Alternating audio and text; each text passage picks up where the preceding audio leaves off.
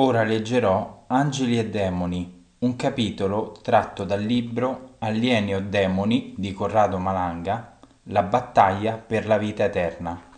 Il capitolo si trova a pagina 63 eh, del libro cartaceo, poi c'è eh, un equivalente libro in formato PDF che si chiama Alien Cicatrix, eh, che è suddiviso in più documenti e potete trovare su internet. E anche questa versione cartacea si trova col nome Alieni e Demoni in versione PDF su internet e a pagina 63 c'è questo capitolo. Angeli e demoni. Giunti a questo punto dell'analisi psicologica, è bene aprire una parentesi sulle diversità fra un addotto e un'addotta. Innanzitutto, l'esperienza di una femmina addotta è di per sé più traumatica di quella di un maschio che subisce la stessa sorte. La donna si sente invasa nel corpo, oltre che nella mente, descrive nei minimi particolari quando viene fecondata artificialmente dall'esterno con un apposito marchingegno a forma di tubo che le spinge qualcosa all'interno della vagina. L'esperienza è traumatica perché l'addotta vede e capisce che si sta lavorando sui suoi genitali L'ipnosi mette in evidenza la paura che il proprio corpo venga profanato. La donna piange, s'agita e si dispera come se stesse rivivendo la terribile sensazione del presente. E poi, ancora, descrive quando, dopo circa tre mesi, lo stesso tubo le viene reintrodotto nella vagina e qualcosa, stavolta, le viene succhiato via. Un'attenta ricostruzione in ambiente ipnotico svela che quel qualcosa è un feto. Un feto, però, con connotati differenti da quelli tipicamente umani. È molto più piccolo ed ha caratteristiche decisamente aliene. La donna che subisce questa specie di stupro sviluppa sempre, indifferentemente dalle caratteristiche del feto partorito, un rapporto d'amore madre-figlio verso la cosa che le è stata tolta. Anche se l'embrione alieno è decisamente diverso da quelli umani, da quel momento in poi lo considererà un figlio proprio a tutti gli effetti. Perché ciò avvenga, non è assolutamente necessario che il ricordo sia ricostruito nei minimi particolari mediante l'ipnosi o la PNL.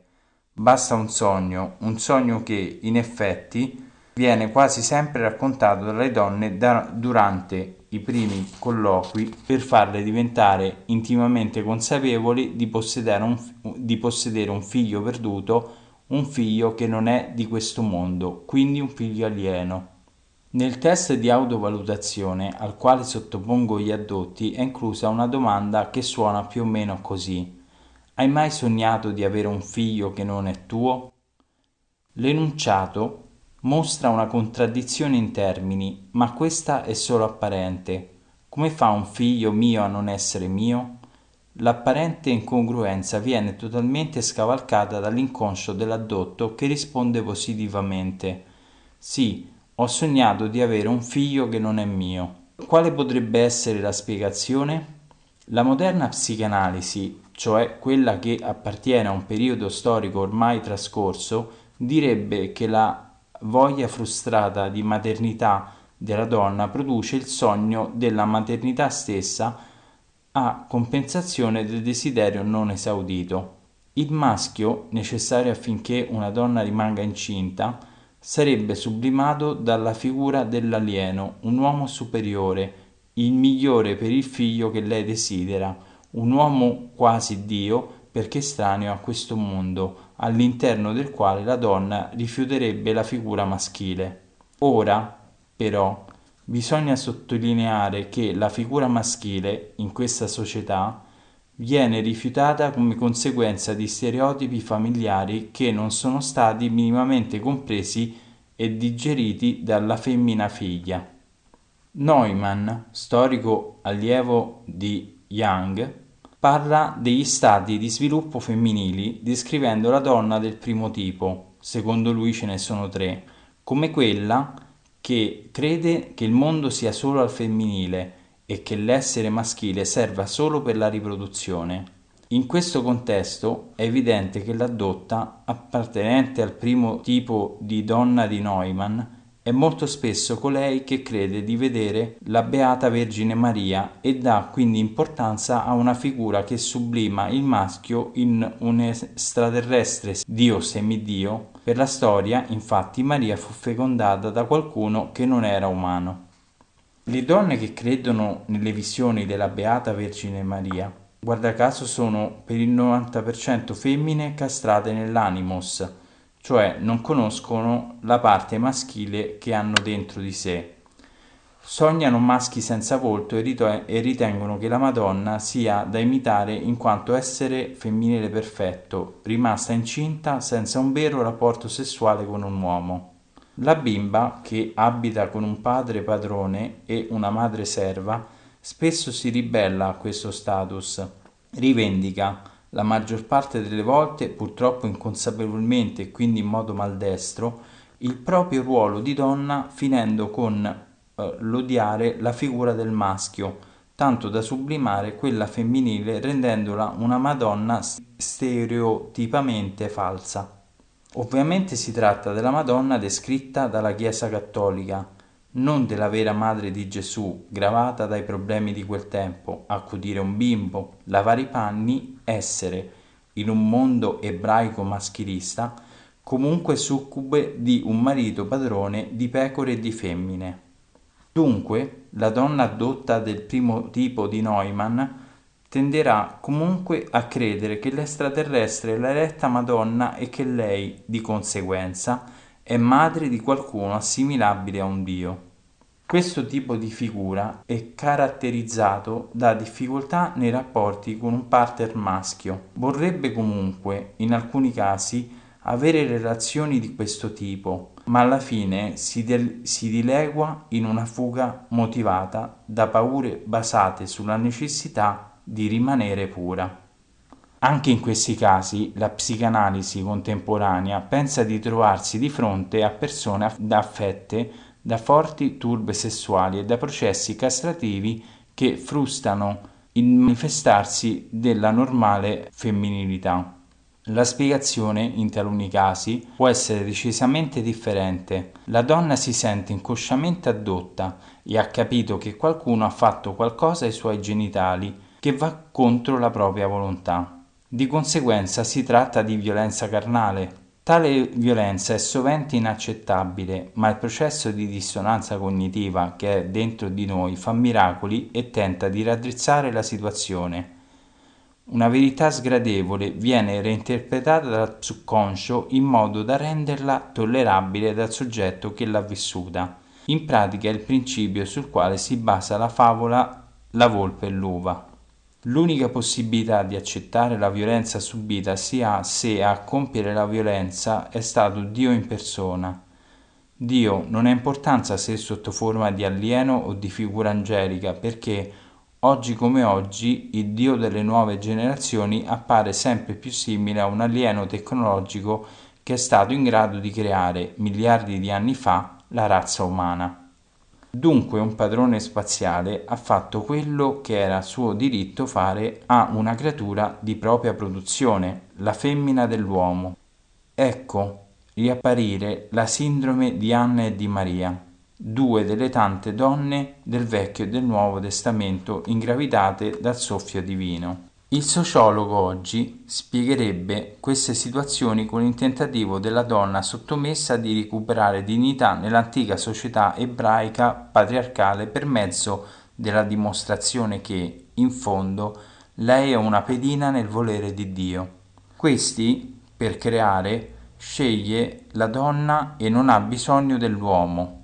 Il fatto stesso di proporre in una società del tutto maschilista come quella ebraica antica la figura di una donna che, nell'atto della procreazione, è svincolata dal maschio padrone ed è invece pri- privilegiata da Dio, rappresenta un escamotage psicologico di notevole valenza. L'archetipo di Sant'Anna si ripropone, dunque, anche nelle società poco colte e maschiliste del Mediterraneo cattolico, nelle quali le visioni della Beata Vergine certamente non mancano.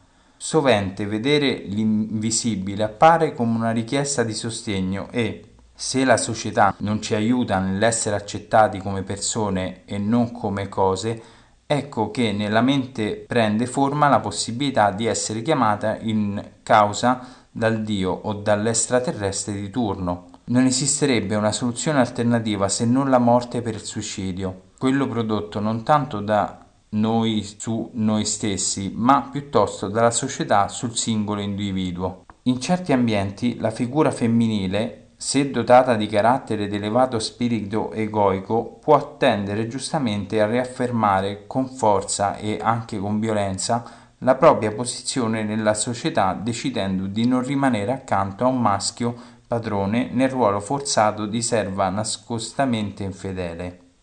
Tenere a mente questo concetto può essere a volte molto utile, se ad esempio la dotta racconta che Gesù è venuto a trovarla. Secondo me il risultato di questo vissuto, poco compreso e metabolizzato, va probabilmente rivisto e corretto.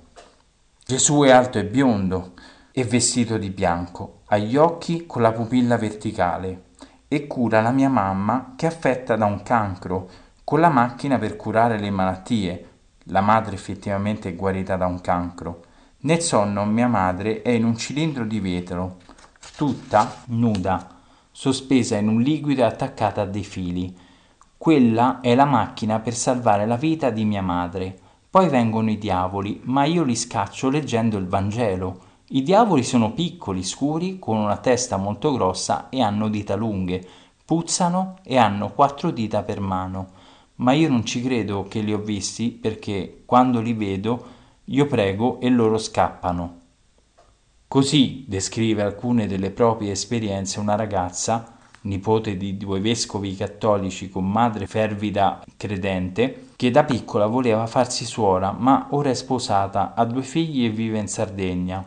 Durante una mia conferenza la ragazza assistette alla descrizione degli alieni che delineai, come sempre, utilizzando le dichiarazioni degli addotti e subì una forte crisi isterica. Il mondo della realtà autentica, da lei in precedenza sempre rifiutato, si scontrava con quello della sua realtà costruita, facendo sì che in lei scoppiasse un conflitto sia nel corpo che nella mente, reazione naturale a una situazione non accettata a livello conscio e tuttavia riconosciuta dall'inconscio.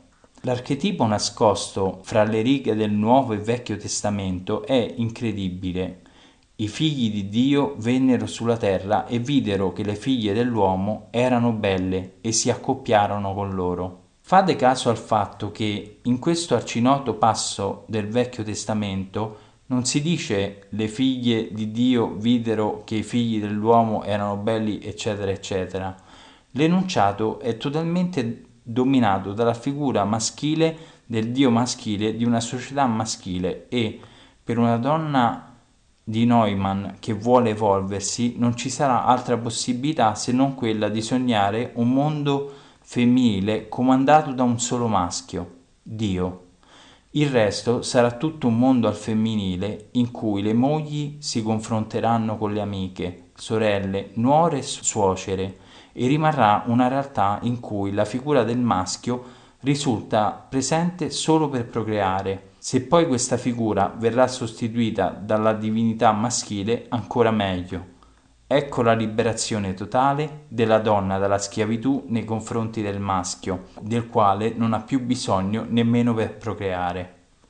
Se l'addotto, poco colto e legato a figure parentali castranti e possessive, non è seguito e indirizzato verso un riesame del vissuto in chiave decisamente più realistica, finisce per ripercorrere la strada che porta soggetti di questo tipo, in accordo con quanto sostiene Eric Fromm nella sua fondamentale opera Essere o Avere, ad associare la figura dell'alieno a Dio figura di padrone super partes a cui tutto è concesso. Il rapporto con l'alieno diventa, pertanto, ancora più turbolento. Da una parte esiste la necessità di giustificare il suo comportamento, quale padrone totale dell'addotto.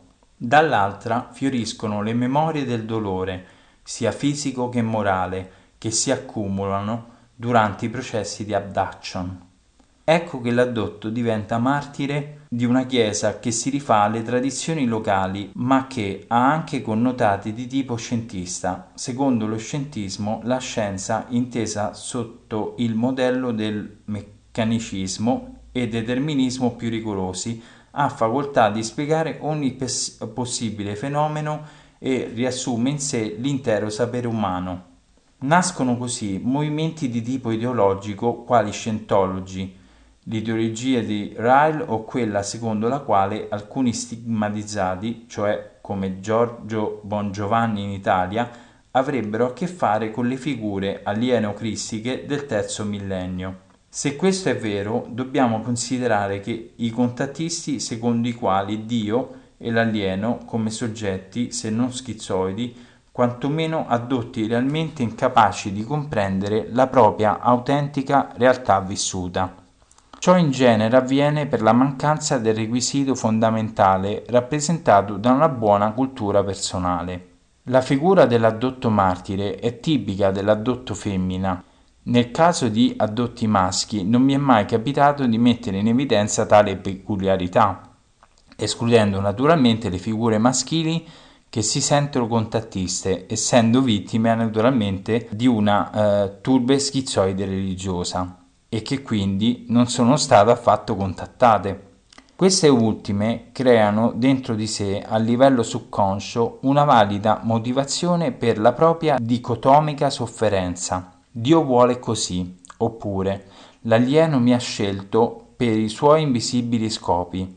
Sia Dio che l'alieno sono comunque esseri superiori, quindi perfetti, sono belli ed hanno ragione hanno ragione anche nel farmi soffrire perché evidentemente a noi non è dato capire, ma un giorno capiremo. Per lo psicologo al lavoro su un addotto autentico è dunque facile confondere una situazione di vera adaption modificata da processi di dissonanza cognitiva con una turba schizoide religiosa. Può quindi tendere a fare di ogni erba un fascio, una donna che, secondo Neumann, appare più evoluta, la definisce del secondo tipo, ma invece un rapporto totalmente diverso con l'alieno che arriva periodicamente a compromettere la sua vita. In generale gli addotti evoluti, i quali per fortuna sembra siano la maggioranza, sono totalmente atei e odiano la religione cattolica non sapendo bene perché.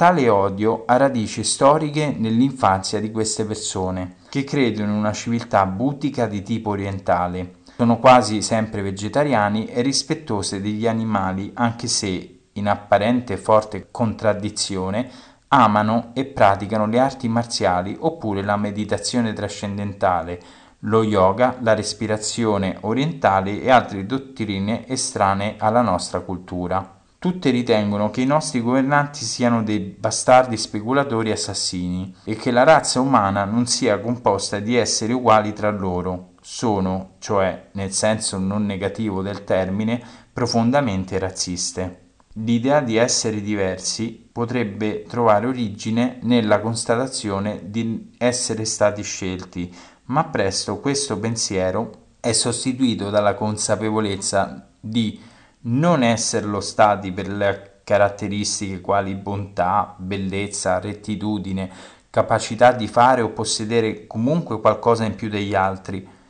Gli addotti si rendono conto che la loro importanza è legata esclusivamente al possesso di alcuni fattori genetici dei quali non comprendono l'importanza. Allora possiamo dire che appartengono a un gruppo di fortunati o di sfortunati? Bella domanda. Io sono utile a loro e quindi sono utile a qualcosa. L'uomo a volte si accontenta di essere preso in considerazione dagli altri, vive in un mondo nel quale nessuno lo stimerebbe o lo aiuterebbe per quello che è, ma solo per quello che fa, purché questo rispetti i canoni di una società per la quale l'unica cosa che conta è apparire ed avere successo. Ancora una volta si instaura un rapporto di tipo sadomasochistico fra il rapitore e l'addotto. Il masochista, in questo caso l'addotto, è in fondo contento di essere stato preso entra in un meccanismo che lo aiuta a diventare consapevole di servire a qualcosa. Questo qualcosa appartiene alla sfera dell'invisibile, dell'impalpabile, dell'irraggiungibile, in altre parole al magico mondo dell'irreale. In una società nella quale ciò che è reale gli fa schifo, ha bisogno che una parte di se stesso abiti l'irreale per sentirsi comunque utile L'alieno che lo tortura e lo usa rappresenta quindi un tramite attraverso il quale egli dà il proprio contributo alla sfera del, dell'irreale, dove è pur vero che costui lo fa soffrire, ma dimostra anche considerazione per la vittima, seppure nella sofferenza.